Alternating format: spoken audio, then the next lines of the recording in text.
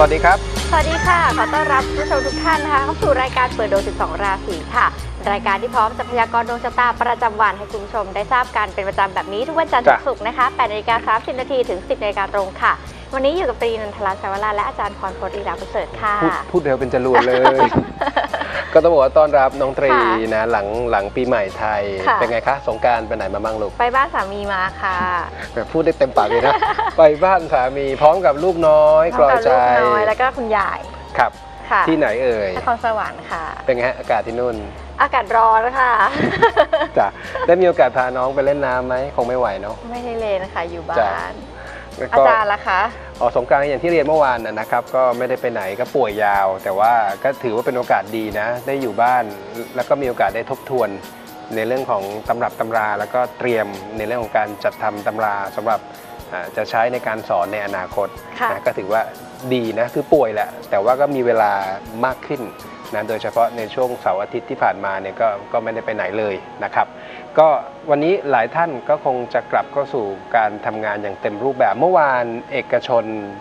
อ่าทำแล้วโอ้แต่ราชการกับหยุดรัฐวิสาหกิจยังหยุด นะครับแต่วันนี้ทั้งพี่น้องราชการแล้วก็รัฐวิสาหกิจก็กลับเข้ามาทำงานอย่างเต็มรูปแบบ ก็พักกันมาเต็มที่แล้วนะหคยุรับดยาวมากเลยนะคะใช่บางคนอาจจะพักร้อนก่อนหน้านั้นนิดนึงนี่ยาวยิ่งกว่าบางคนพักเกือบ10 วันนะก็ไม่เป็นไรฮะโอ้ค่ะเราเราพักเต็มที่แล้วตอนนี้ก็ถึงเวลาชร์จแบตที่เราอจย์จะค่ะต้องกลับมาต่อสู้นะผจญกับปัญหาต่างๆ ก็ทำให้มันเต็มที่ฮะเดี๋ยวถึงเวลาช่วงปลายปีเนี่ยเวลามีการประเมินผลจะได้หายเหนื่อยครับ อะวันนี้ก็ก่อนจะเข้าสู่ภาคพยากรณ์ดวงรายวันของทั้ง 12 ราศีในเบรกที่ 2 ฝากบอกนิดหนึ่งนะครับสำหรับ VTR ภาพบรรยากาศในเรื่องของการบริจาคโลหิตเมื่อวันที่ 9 เมษายนนะครับเดี๋ยวเราจะนำมาฝากในช่วงเบรกที่ 2 แต่เบรกแรกก็การพยากรณ์ดวงรายวันของทั้ง 12 ราศีแต่คุณผู้ชมสามารถที่จะสื่อสารกับพวกเราได้ 2 ช่องทางหลักๆ ครับ ค่ะ คุณผู้ชมสามารถพิมพ์ PD นะคะ ตามด้วยชื่อวันเดือนปีเกิดเวลาเกิดค่ะ ใส่วงเล็บมาให้เรียบร้อยนะคะ เช่นจ้ะเอ่อเกิดหลังเที่ยงคืน ฟ้าสว่างเป็นวันอะไรนะคะครับหรือว่าอยากจะทราบลัคนาราศีเกิดก็ใส่จากสถานที่จังหวัดจังหวัดที่เกิดมาด้วยค่ะส่งมาที่ 4221606 นะคะ หรือว่าคุยสายสดในช่วงหน้าค่ะ 024960493 และ 024960494 ค่ะ ครับไม่เป็นการเสียเวลานะครับ การพยากรณ์ดวงรายวันของทั้ง 12 ราศี วันนี้ตรงกับวันอังคารที่ 18 เมษายน ปีพุทธศักราช 2560 จันทรคติการแรม 7 ค่ำเดือน 5 ปีรากา วันนี้วันโกนนะครับ ประจิมหรือตะวันตกคือทิศที่เป็นสิริมงคลครับ ส่วนทิศที่ควรจะหลีกเลี่ยงคือบุรพาหรือตะวันออก ส่วนทิศที่จะมีคนให้การอุปถัมภ์วันนี้คือทิศอีสาน หรือตะวันออกเฉียงเหนือนั่นเอง เปิดหัวด้วยชาวราศีมังกรเหมือนเช่นเคยครับ 16 มกราคมถึง 12 กุมภาพันธ์ วันนี้ขอให้เชื่อในความรู้สึกของตัวเองนะครับ โดยเฉพาะกับงานที่ยังไม่มีข้อสรุป หรือแบบแผนอะไรมาก่อนหน้า วันนี้สัมผัสแรกสำคัญที่สุด เงินทองรวมถึงการลงทุนผมก็ทายดีครับ มีโอกาสได้รับเงื่อนไขที่น่าสนใจ ส่วนหัวใจความรักวันนี้เหมาะสำหรับการสารสัมพันธ์กับคนที่อ่อนวัยกว่า เพียงแต่อย่ารีบร้อนครับ สีที่ถูกโฉลกค่ะ วันนี้คงจะต้องเสริมในเรื่องของหลักฐานความมั่นคง เน้นเรื่องของชีวิตกับสีเทา ราศีต่อไปราศีกุมค่ะ 13 กุมภาพันธ์ถึง 13 มีนาคม ในเรื่องของการทำงานวันนี้เวลาได้รับความช่วยเหลือจากเพศตรงข้ามให้ดูนะครับ ว่ามีนัยยะอะไรแอบแฝงหรือไม่ เงินทองเผื่อใจหน่อยก็ดี วันนี้ไม่ค่อยได้ทำอะไรเพื่อตัวเองครับ อาจจะต้องใช้จ่ายเพื่อคนใกล้ชิด หัวใจเหมาะสำหรับการเริ่มต้นใหม่ หรือเริ่มกันใหม่ครับ สีที่ถูกโฉลกค่ะ ผมให้ความสำคัญกับเรื่องงานนะ มีใครช่วยเพศตรงข้ามดูให้ดีกับโทนสีม่วง ต่อไปราศีมีนค่ะ 14 มีนาคมถึง 12 เมษายน ชาวราศีปลาคู่วันนี้อย่ามีทิฏฐินะครับ หรือว่าคิดแต่เรื่องของเกียรติยศศักดิ์ศรี วันนี้ถ้อยทีถ้อยอาศัยนะครับ อะไรลงได้ลงให้ก่อน ผมหมายถึงเรื่องของงาน ส่วน การเงินการลงทุนยังไม่ได้รับผลกระทบ วันนี้ติดขัดเข้าหาใครไม่ถูกปฏิเสธครับ เหมาะสำหรับการโน้มน้าว หรือแม้กระทั่งในส่วนของการขอความช่วยเหลือ หัวใจถ้าไม่รักไม่ชอบจริง ๆ ก็อย่าให้ความหวังระวังจะมีภาระตามมาในอนาคต สีที่ถูกโฉลกค่ะ เขาบอกคนเราจะลงให้ใครก่อน เราต้องหนักแน่นให้มากโทนสีเทาครับ ต่อไปราศีเมษค่ะ 13 เมษายน ถึง 13 พฤษภาคม ชาวราศีแกะวันนี้มีโอกาสที่จะได้ลาบผลจากสิ่งใหม่ ๆ ไม่ว่าจะเป็นลักษณะของตัวบุคคล หรือแม้กระทั่งการเรียนรู้หน้างานที่ต่างจากเดิม สภาพคล่องก็ยังพอบริหารได้ครับ หยิบจับอะไรก็มีเกณฑ์ได้ต่อยอด โดยเฉพาะคนที่มีเงินเย็น สุดท้ายหัวใจความรักกลับด้านกับทั้งสองเรื่อง ดูเหมือนจะมีแต่ข่าวที่ไม่ค่อยดีเกี่ยวข้องกับตัวเอง หรือแม้กระทั่งสมาชิกภายในครอบครัวครับ สีที่ถูกโฉลกค่ะ วันนี้ก็ต้องหนักแน่นหน่อยกับโทนสีน้ำตาล ต่อไปราศีพฤษภค่ะ 14 พฤษภาคมถึง 13 มิถุนายน ชาวราศีวัววันนี้ ในแง่ของการทำงานอย่าหวันไหวครับ หากมีใครมากดดัน หรือมีปัจจัยภายนอกสิ่งเร้า คิดจะทำอะไรพยายามทำให้สำเร็จ ส่วนเงินทองยังคงออกตัวประเมินสถานการณ์ล่วงหน้าได้ โดยเฉพาะในเรื่องของการเงินการลงทุน หัวใจเน้นคนมีคู่วันนี้ต้องอดทนนะครับ เพราะมีเกณฑ์ตกอยู่ในสถานการณ์ที่ไม่พึงปรารถนา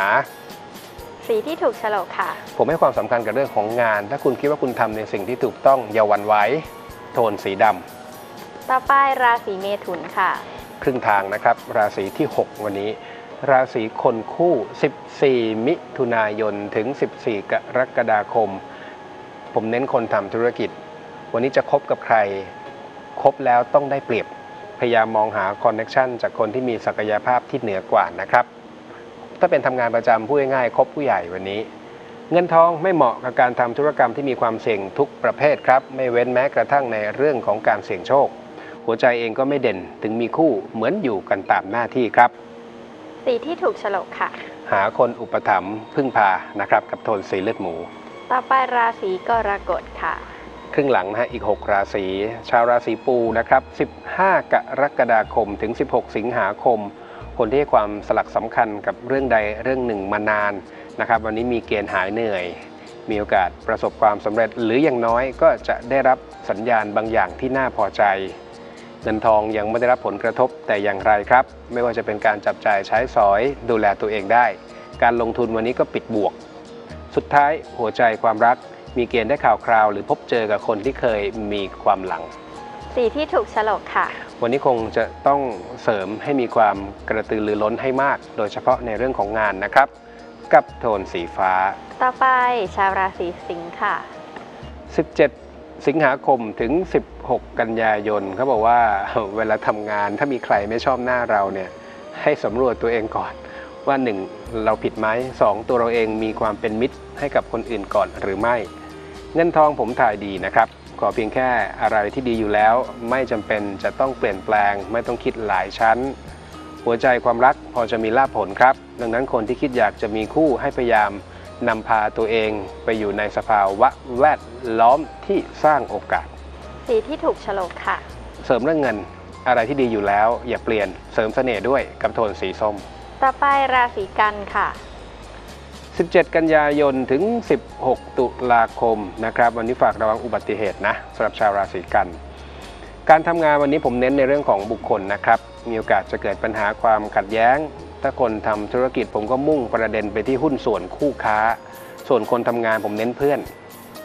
เงินเงินทองทองให้เน้นการออมเงินปันผลครับ ไม่เน้นการลงทุนระยะสั้น การกินส่วนต่างไม่เอา สุดท้ายหัวใจความรักมีโอกาสได้รับราศีก่อนหน้าได้รับข่าวไม่ดี แต่ราศีกันมีเกณฑ์ได้รับข่าวดี โดยเฉพาะคนที่กำลังรอลุ้นรอฟังผลครับ สีที่ถูกโฉลกค่ะ อุบัติเหตุเพศภัยที่เตือนเมื่อสักครู่กับโทนสีเขียว ต่อไปราศีตุลค่ะ 17 ตุลาคมถึง 15 พฤศจิกายน วันนี้ในเรื่องของวัยวุฒิประสบการณ์ความเก๋าสำคัญนะครับ ฉะนั้นวันนี้ไม่ว่าจะทำงานร่วมกับคนที่อยู่ในระดับตำแหน่งไหน แต่เขาซีเนียกับเรา คุณมีโอกาสจะได้ลาบผล เงินทองรวมถึงการลงทุนไม่เน้นวูบวาบฉาบฉวยครับ เน้นความมีวินัย โดยเฉพาะเรื่องของการลงทุนอย่างที่บอก หัวใจความรักขรุขระบ้าง กระทบกระทั่งกันบ้าง ให้มองเป็นปกติวิสัย ถ้าตั้งใจประคับประคองก็ผ่านได้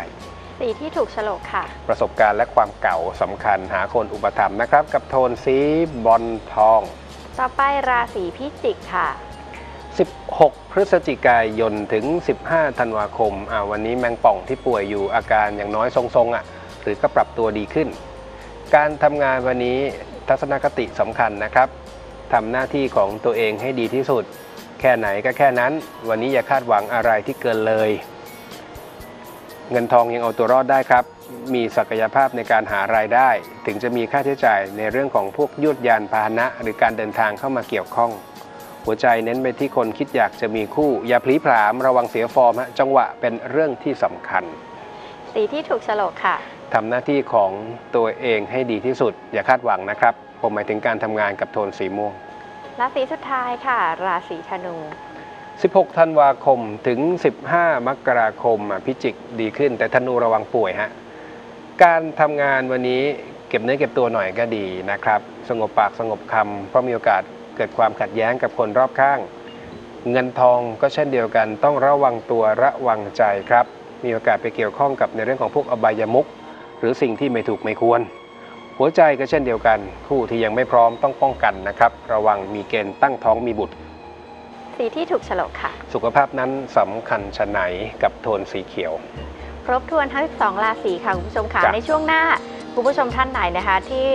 รอที่จะให้อาจารย์ตรวจสอบครับ ดวงชะตาให้นะคะ คุณผู้ชมสามารถพิมพ์พีดีค่ะ ตามด้วยชื่อวันเดือนปีเกิด เวลาเกิดนะคะ แล้วก็ถ้าอยากทราบลัคนาก็ใส่สบเอ่อจังหวัดที่เกิดมาด้วยจ้ะนะคะ ส่งมาที่ 422-1606 ค่ะ ช่วงครับหน้าเรารับสายสดนะคะ 024960493 และ 024960494 ค่ะ แล้วก็ทักทายด้วยอ๋อจ้ะไลฟ์สดของเราอย่าลืมนะคะ คุณผู้ชมที่ไม่ได้อยู่หน้าจอทีวีครับก็สามารถติดต่อสื่อสารกับเราได้นะคะทาง Facebook ค่ะนี่ขึ้นให้ทางหน้าจอนะคะใช่ Miracle Channel TV ค่ะครับดูไลฟ์สดกับเราได้นะคะ ช่วงนี้ขอพักเบรกแป๊บเดียวค่ะครับ